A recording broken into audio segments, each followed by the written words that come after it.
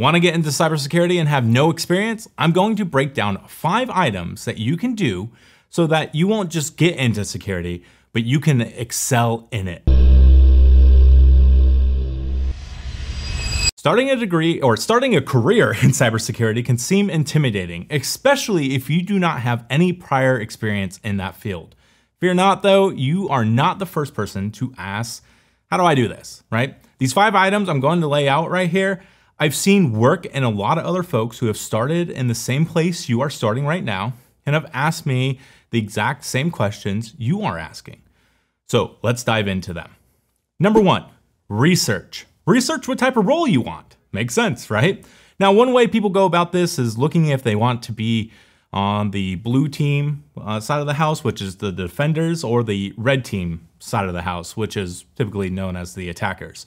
This is a little bit old hat in my opinion, as these teams in mature organizations are much more blended now, but I want to say there are a large range of jobs outside of those two groups that support security organizations and businesses, and these jobs are less technical, and I'm not going to get into these jobs in this video, but these roles include things like being a project manager, uh, sales rep or sales engineer, etc. Right? Now, I see a lot of people who are looking to join security, and they have like tunnel vision and they just want to be like a penetration tester or a red teamer. Let me be clear, right? The reality of the fact is companies need defenders more than they need attackers. Don't get sucked into that, you know, I got to do this. No, there's a larger side of the house and they need smart and motivated people as well. Also, come to terms to the fact that your first role in security may not be as a red teamer, not a pen tester, a red teamer. Now, there are some exceptions, but by and large, being on a true red team where you're doing like physical entry, digital hacking, and social engineering on nearly every engagement is typically reserved for folks that have real world experience in those areas or have uh, training in those areas and have cross trained into those other areas. Now, the term red team has been bastardized, so be careful of companies using that term more for marketing and hype than really what they do. Now, before we go forward, make sure you boop that like button Subscribe if you are not subscribed, and hit that notification bell so you can be updated for when we have other great content to help you on your security journey. Also, share this video with others who you think can benefit from this information. Now let's get back to the other four items you need to be doing. After you've done research, you need to do number two, which is study. You found the type of role that is of interest to you. Now you need to focus studying on the skills needed for that job. Don't know where to start? Ask yourself some questions. Do you have networking knowledge? If not, look up a free CCNA class. Do you know how to do system administration? If not, look up a free Linux or Windows Server administration class. Don't know how to write a script or program in any language? Learn Python, Bash, or PowerShell. You have so many free resources out there for you to learn. And not really a self-learner, you might be saying? Well, you need to change that. You're gonna have to learn how to learn, you know, by yourself. But go look at uh, community college courses, go to those classes in person. No matter what you want to be, a defender or attacker, you need to know the basics. And the basics fall along the lines of, you know, networking, system administration, coding and scripting. So what, what does this mean, right? You are not going to learn how to be a competent security professional in seven days or even seven weeks. It's going to take time and loads of effort. Focus on leveling up your skills it's a lot of stuff and you might feel overwhelmed. Good. Now pick one of the essentials you don't know and dive into it. It may not be fun at all. Well, it will be fun at some of the times, but sometimes it will seem more like a grind than not. Grind through it. If it was easy, everyone would be doing it, but it's not easy and it takes time. I started doing like computer repair. Then I learned network administration and then I you know, did Windows Server Administration, and then I learned Linux Server Administration and shell scripting. I did this through a mix of like online learning, um, buying hard copies from a bookstore, and some community college classes in person. Now, the three, the third thing you need to be doing is build your portfolio. Post a few scripts you've written to help solve problems that you've had while you're on your learning journey, right? If you learned something interesting, post it on LinkedIn blog. Go and talk at your local security meetup.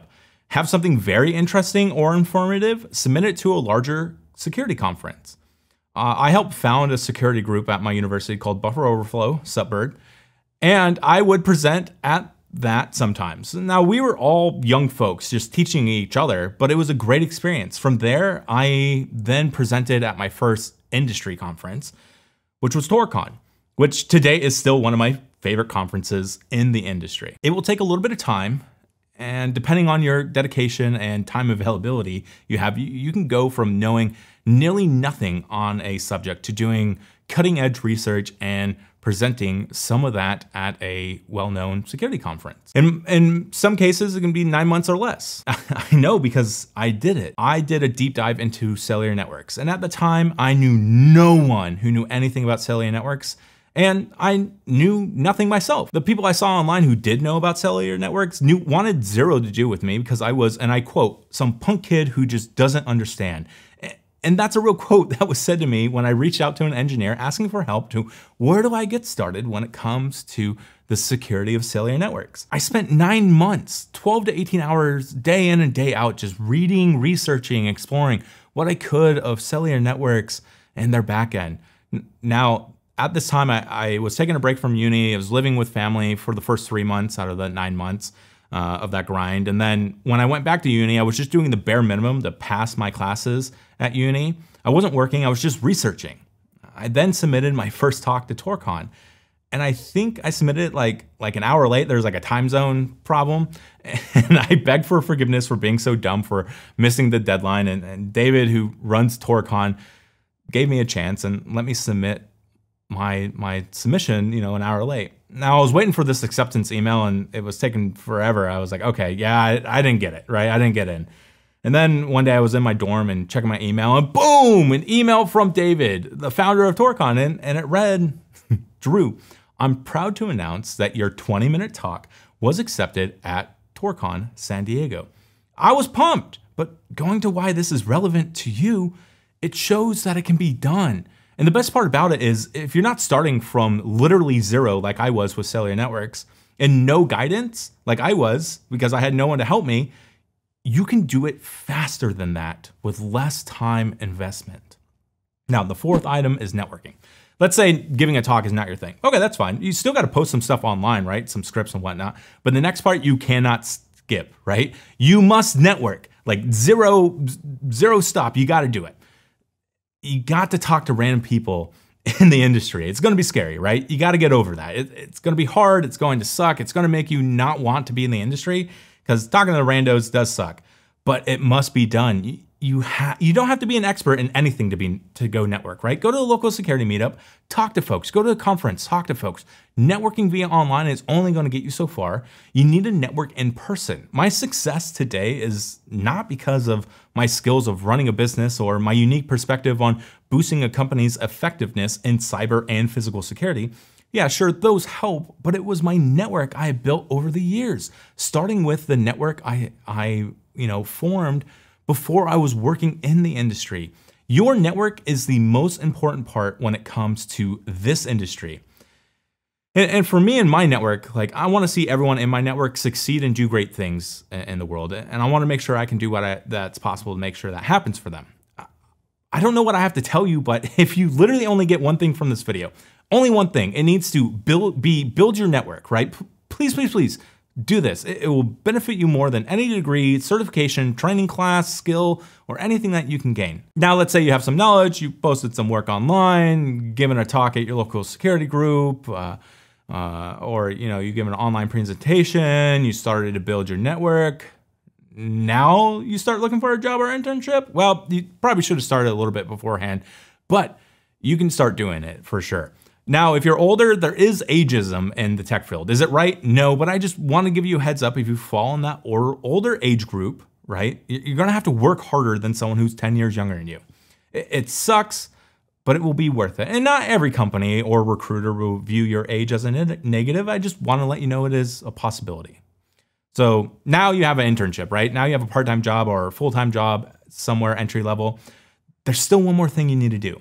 Number five, continue learning you need to continue learning. You need to always be learning, right? Never stop learning because if you do, you're going to get crushed in this industry, especially if you're just entering it.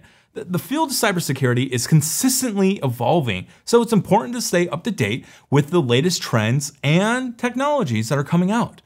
As I tell everyone, security is not a lifestyle. I mean, security is a lifestyle. It's not just a one and done item, right? It's gonna take time, hard work, loads of effort, and you're gonna question yourself all the way through it. But if you can dedicate yourself to this, you can do this. I know you can, because if I can do it, I know you can do it. So let's review those five items, right? Number one, you gotta research what type of job you want. Number two, you gotta build your skill set. Number three, you gotta post your work and research online. Number four, you need a network. And number five, you need to continue learning. Hey, are you still here? If you wanna see more great content like this, make sure you boop that like button, subscribe, and hit that notification bell. Also, share this video on social media with your friends. As always, stay safe and happy hacking.